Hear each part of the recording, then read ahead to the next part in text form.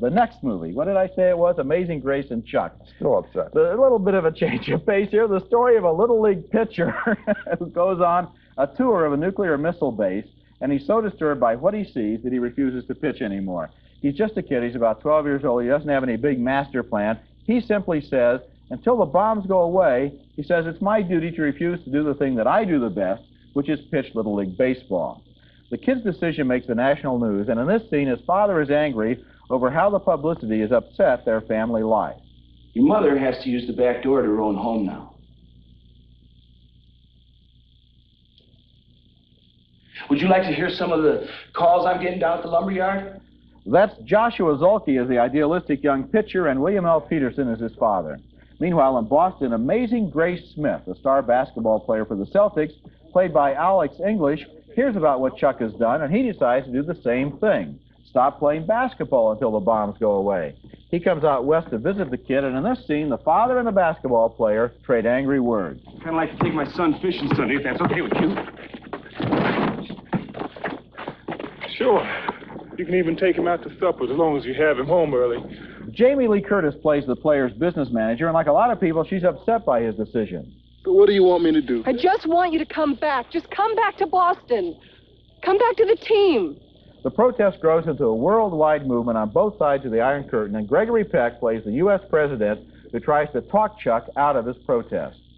This movie ends with the words, wouldn't it be nice? And I guess that's the bottom line for the whole picture. Wouldn't it be nice if one little leaguer's concern about nuclear weapons did grow or could grow into a worldwide peace movement?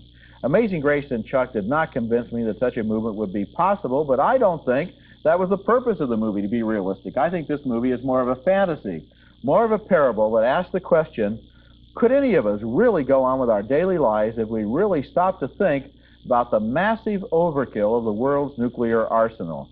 This movie makes the whole issue very personal, very simple. This kid just doesn't see the point of pitching one more inning if we're all going to go on making bombs to kill everybody a thousand, thousand times over. I started out in a mood to be sort of condescending toward this movie in the first half hour or so, but in the end, with its innocence and its simplicity, it sort of won me over. It did win me over too, and I'll tell you, I, originally I thought it was just an expanded made-for-TV movie. Yeah. It starts out and it looks that way, and you Mhm. think it'll be promoted as you know an anti-war film and it's cute and all that kind of a thing. I think what makes the movie work as a movie, like worth playing in a big theater, frankly, is the script, Mhm. because the script is very minimal. The kid is very quiet. Yeah. He just simply says, "I won't play." Mhm. He doesn't answer a lot of questions. He does it almost. I, I don't want to compare him to Gandhi, but the the essence is in being quiet, mm-hmm. you gain power. And then another person joins him. Yeah. And they're quiet. Mm-hmm. And the dialogue with the president, which can be obviously very cornball, little boy and president, if there's a lot of talking back and forth, the kid is still quiet. I was so Yeah, impressed yeah. that somebody was on the set, Mike Newell, the director, and then David Field, who wrote the script, Mhm. kept things down and quiet. They don't make the mistake of trying to explain too much Yes. and turn into a lot of political speeches. Now, the scene where Gregory Peck comes in, this is an old Hollywood tradition. Right. You get a legendary actor, Yeah. somebody like Gregory Peck, and you have him play the President of the Right. United States, and then he comes over ordinarily as wooden and phony. Yes. Not this time. Yes. Gregory Peck convinced me Yes.